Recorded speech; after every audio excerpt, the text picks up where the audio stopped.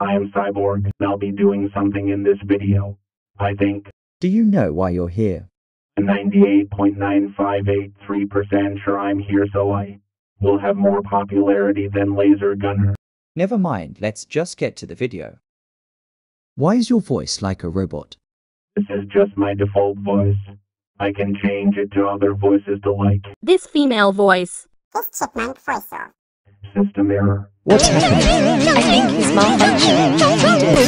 say he was still fixing something before he came. I quit. Don't get paid enough for this.